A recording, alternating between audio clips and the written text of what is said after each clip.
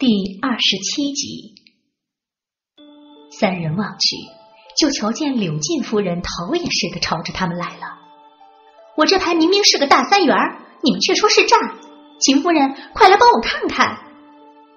秦伟的夫人眉角轻蹙，梁渊夫人以笑盈盈的跟了过来。秦夫人，你快来吧，不然啊，这牌局可是要散了。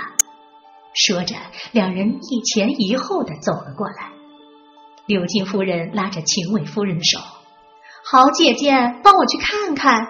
再输下去，我可是连买花带的钱都没了。”那赵福夫人歪在牌桌上笑得不行，打趣儿柳进的夫人：“我不管你有没有花带，这局的钱先给了再说。”谢敏夫人就和其他几位看牌的夫人笑着调侃道：“看见没，督察院的人就是与众不同啊。”人跑了，债可不能不还。大家都哈哈的笑了起来。大家说是说，笑是笑。柳进的夫人拉秦伟的夫人坐在自己旁边指导牌局的决心却很坚持。秦夫人只得无奈的笑道：“我这里正和胡夫人说话呢。”梁渊的夫人就叫了丫鬟搬张椅子来。我是赢家。只要大家没有意见，我倒也想坐在这里跟沈夫人、胡夫人说说话。柳进的夫人自然不依，拉着梁渊的夫人不让他落座，又对秦伟的夫人哀求道：“好姐姐，你好歹让我赢点本回来。”胡信的夫人就笑指着柳进的夫人：“你呀，哪有一点当夫人的样子啊？”柳晋的夫人就倚在胡夫人的肩头，这里哪位夫人不比我年长？要我出什么头啊？大家又是一阵笑。胡信的夫人就对秦伟的夫人道：“你快去和他们玩去吧，不然啊，我和沈夫人都不能安生。”秦伟的夫人听了，这才和柳晋夫人、梁渊的夫人等重新回到牌桌，哗啦啦的摆开了阵势。这边沈慕清满脸通红，紧紧的捏着手中的四张牌，看着梁佑慧甩出了一张五万贯，他忙道：“有没有人管得住？有没有人管得住啊？”英芬摇了摇头，紫砂也露出了无奈的神色来。沈慕清大声的呻吟：“哎呀，又输了！”梁佑慧掩嘴而笑。沈慕清和英芬、紫砂丢了牌，各掏了两枚铜子儿给梁又慧。梁又慧得意洋洋的收了。紫砂又开始洗牌。沈慕清左顾右盼，怎么也不见管事妈妈来回事儿啊？梁又慧神情紧张，我们打牌不会耽搁了正事儿吧？沈慕清正经的点头，不知道，我要去看看。梁又慧忙道。快去，快去！英芬在一旁忍俊不住，咯咯咯的笑出声来。紫砂目光流转，露出了了然的表情，抿嘴而笑。梁又慧不明所以的望了望英芬，又望了望紫砂，紫砂就轻声的道：“沈姑娘手气不好，我们不如歇歇。”梁有慧一副恍然大悟的样子，忙拉了坐在旁边有小丫鬟服侍穿鞋的沈慕清：“我把赢的钱还你就是，你别生气了。”沈慕清却一本正经的：“你听紫砂壶说，我就是去看看外面有没有什么事儿。”梁有慧望着沈慕清的目光充满了怀疑，紫砂却笑道：“沈姑娘去看看也好。”刚才有位妈妈来回事儿，沈姑娘一回来就转了手去。沈慕清有着被看穿心思的狼狈，回头佯装不快的瞪了紫砂一眼。紫砂很是尴尬，朝沈慕清陪着笑脸。英芬再也忍不住，哈哈的大笑起来。紫砂姐姐，我们家姑娘当你们是亲近的人，和你闹着玩的。紫砂就很认真的打量了沈慕清几眼，见沈慕清虽然面带怒容，眼中却含着笑意，他笑着拍着胸口笑道：“姑娘可吓死我了。”语气不同于刚才的紧张，还带着几分小女孩似的娇嗔。真是个人物啊！难怪梁家老夫人把紫砂放在梁佑惠身边服侍。他不由仔细的打量了紫砂一眼。十三四岁的年纪，苗条的身段，清秀的五官，灵活的双眸，穿着一件水蓝色棉绸对襟小袄。深蓝色鼻甲，脸白挑线裙，头上插着银簪，耳朵上缀着珍珠坠子，像朵静静的开在水边的小花，娴静而温婉。沈慕清不由在心里暗暗的叹了一口气，脸上却带着笑容。我再不出去转转，我面前这段童子只怕马上又要换主子了。梁佑惠听得他的有趣儿，嘻嘻嘻的笑了起来。沈慕清就带着落梅去了报夏。他们刚出门，就看见璞玉在廊庑上张望，看见沈慕清，他竟然一溜烟的跑了。沈慕清叫了步月去看看出了什么事儿。步月应声而去，沈慕清这才进了报下。报下只有明霞和两个未留头的丫鬟，明霞则坐在暖阁的大炕上做着针线活儿，两个小丫鬟围坐在她身边，翻着藤萝里的东西，低声笑语，气氛很和谐。看见沈慕清进来了，三个人忙站了起来，给他行礼。这是在做什么呢？沈慕清笑着走了过去，拿起了月白色的绫缎。展开了是件正在做的夹袄，明霞低垂着眼脸。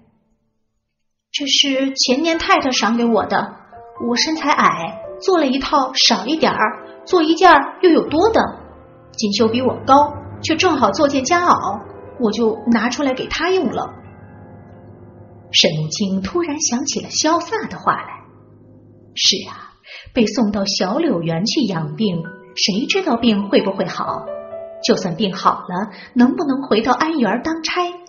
哪里都少不了逢高踩低的人。他眼神一暗，想到自己有段时间没有去看锦绣了，问道：“你去看过锦绣了？他怎么样了？”明霞顿了顿，抬头笑道：“挺好的，太太给请了大夫，药也一直没断过。”沈慕清沉思了半晌，说道：“走，我们去看看锦绣去。”明霞的脸上却闪过了明晦不定的表情。沈慕清看得心中一跳，却装作什么也不知道的样子，径直走了出去。明霞忙跑上去帮沈慕清撩了帘子。沈慕清吩咐落梅：“你去陪着梁姑娘打牌，就说我有点事儿，马上就回来。”落梅看了明霞一眼，口气中带着几分犹豫，叫了迎秀，让她跟在沈慕清身边服侍，她这才回了正屋。沈慕清几个人去了小柳园，大雪覆盖之下的小柳园白皑皑的一片，墙角几根不服输的树枝从厚厚的积雪下探出头来，有几分荒凉之意。明霞笑着解释。家里这几天忙，雪就没有清。沈清没有吱声，在明霞的搀扶下叩了锦绣的门。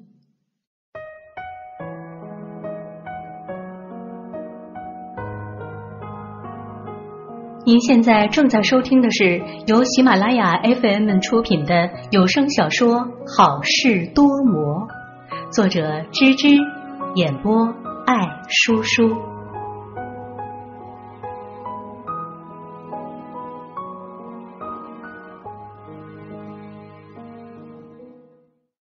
来应门的是春绿，她穿着一件半新不旧的官绿色露绸棉袄，大冷的天儿竟然满头大汗。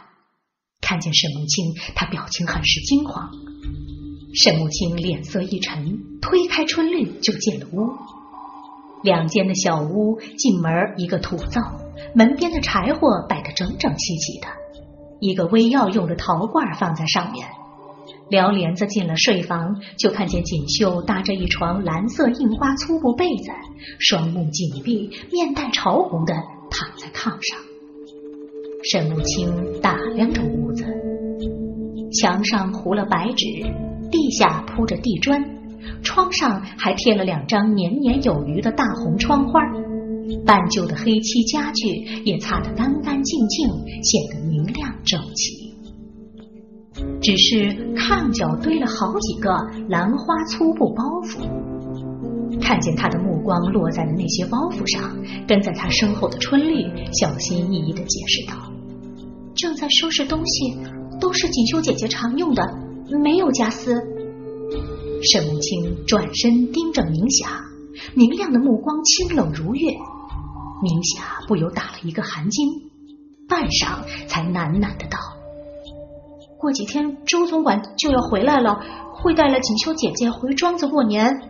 大年节的又病着，回去他还有娘老子、哥哥嫂嫂的，也热闹些。这事儿是谁定的？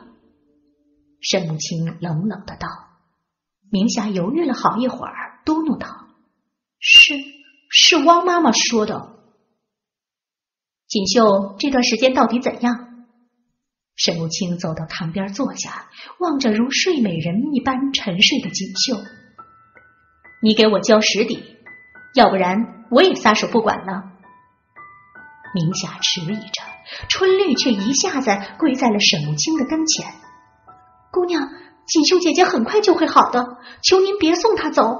太太让张婆子过了年就到庄子上把锦绣姐姐领走，还说还说。”要是姐姐问了，就说病的不行了。这是意料中的事儿。沈母亲目光锐利的望着春绿，你是怎么知道的？是璞玉说的。春绿眼泪汪汪的望着沈母亲，奴婢真的没有乱说。上次张婆子来看璞玉，璞玉告诉我的。说锦绣过了年就会去张婆子家。沈母清冷冷的哼了一声：“哼，你可真是知道的巧啊！”春绿一听，脸色煞白，伏在地上直磕头：“姑娘，姑娘，奴婢真的没有说谎。那天溥玉到院子里来说是太太让他来小柳园里采点雪，明年好煮茶喝。小柳园里采雪。”不采梅萼上的雪，采落在地上的积雪。沈母清沉思着，明霞就一把将春绿拉了起来。该怎么做，姑娘自有主张，还轮不到你在这里要死要活的。快站好了！春绿抽抽泣泣的站了起来，擦着眼泪，偷偷的窥视着沈母清的神色。周总管回来的时候。你记得跟我说一声。沈母亲神色如常，淡淡的吩咐着明霞。明霞小心翼翼的应了一声“是”。春绿，锦绣这里一直是你在服侍吗？沈慕青又问春绿。春绿怯生生的点了点头。嗯，还不错。沈母清望着窗户上的窗花，转身对明霞道：“我们走吧。”明霞一怔，但很快就恢复了常态，恭敬的应了一声，跟在沈母清的身后出了小柳园。一路上，沈母清的神色都有些恍惚。被张婆子领走，还能有什么好呢？可不被领走，又该怎么办？自己谁也不认识，就是个托付的人也没有。再说，就锦绣那一副绝世容颜，一般的家庭还真是要不起。他越想越是没了主意，混混沌沌的回了安远。步月早在屋檐下等，看见沈母清回来，小跑着迎了上来，说道：“刚才我去问了。”楚玉说：“杜姑姑让他来看看姑娘在不在家，他找姑娘有点事儿。”沈母清点了点头，有丫鬟在一旁笑道：“杜姑姑已经来了，在屋里等姑娘呢。”待进到屋里，发现杜姑姑坐在梁佑惠的下手，正在和她交头接耳的说着什么，两人的肢体语言中透着几分亲昵。沈母清愕然，杜姑姑并不是一个容易和人相熟的人，就是自己跟她学了大半年的女工，她对自己也是客气而疏离的。后来还是有一次，李氏让杜姑姑给她绣了一条马面蓝裙，自己想着杜姑姑的眼睛，出言挡了一下，两人的关系才渐渐亲近起来。念头闪过，他已经笑盈盈的和杜姑姑打招呼：“姑姑什么时候来的？”英芬忙下床服侍沈母清上了榻。杜姑姑笑道：“正巧有点事儿，想找你。”沈木清坐到了炕上，指着杜姑姑，笑着对梁玉慧道：“这位就是教我女工的杜姑姑，想来你已经认识了。”梁玉慧笑着点头：“我们已经认识了。刚才杜姑姑还和我说着绣小猫的诀窍呢。”绣小猫？沈木清愕然。梁玉慧有些不好意思的笑了笑：“我喜欢鸟兽。”没想到会遇到教妹妹女工的杜姑姑，所以央了杜姑姑要她指点指点我。原来如此，沈母清点头。杜姑姑有一整套绝活儿，专用来绣走兽。你要是有时间，可以好好问问杜姑姑。梁又会一听，大感兴趣。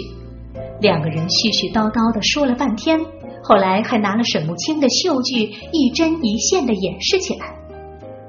好不容易两人打住了话题，沈木清就提起了杜姑姑的来意。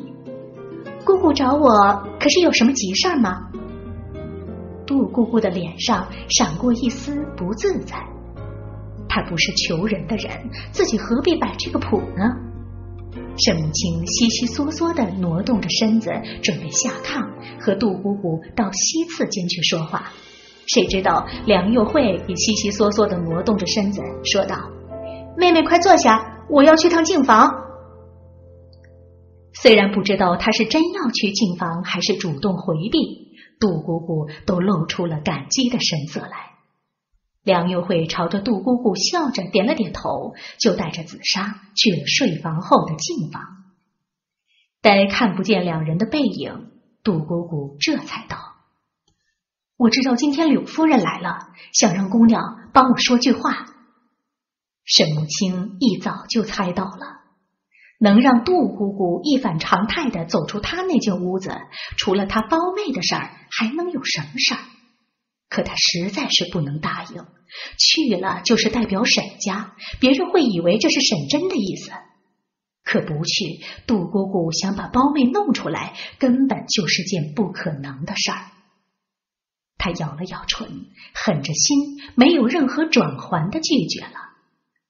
杜姑姑当时就拉着沈木清的衣袖哭了起来：“姑娘，我求求你了，我以后给你立长生牌，一辈子也不会忘记您的恩典，来生做牛做马的报答姑娘。”这样的杜姑姑和平常很不一样。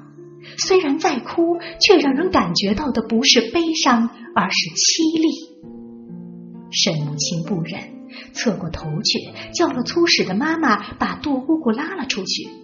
直到身影不见了，她那悲泣的哭还时隐时现的传来。英芬抿了抿嘴，轻手轻脚的走到沈母清的身边，悄声的道：“真的没有办法帮帮杜姑姑吗？”沈母清苦笑，这也得有机遇才行。他现在全心全意的指望着咱们，要是办不到，只怕是还不如早拒绝。如果有机会再说。英芬、落梅和朱姬几个听了，都各自暗暗点头。因为这个变故，屋子里的气氛略有些紧张起来。还好梁又会很快从净房出来。落梅为了活跃气氛，笑道：“眼看着这天色也不早了，姑娘，咱们要不要再玩几局？您也好翻翻本儿。”可沈母清实在是提不起兴趣来。这个时候，她心里也有些难受，没有精力去应酬人。打叶子牌成了最好的选择。他就笑望着梁佑慧，姐姐意下如何？梁又慧没有立刻回答，神色恍惚的上了炕，先是露出了沉思的表情，然后露出毅然决然的表情，说：“妹妹，我想单独和你说几句话。”沈母亲颇感意外，却也不好拒绝，朝着洛梅扬了扬和，洛梅立刻带着屋里服侍的人退了下去。紫砂犹豫了一下，也跟着退了下去。屋子里只剩下了沈木清和梁佑慧，而梁佑慧却反而露出迟疑的表情来。这里是由喜马拉雅 FM 出品的《好事多磨》。本集播放完毕，叔叔。